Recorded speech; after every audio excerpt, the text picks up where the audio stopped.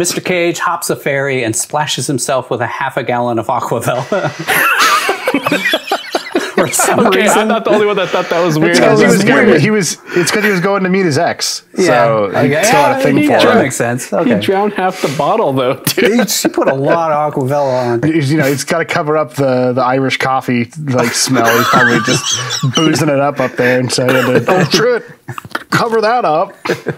They'll never notice. I thought it was a way for him to repel the constant onslaught of gorgeous women who will be looking to be the next Mrs. Cage. But True.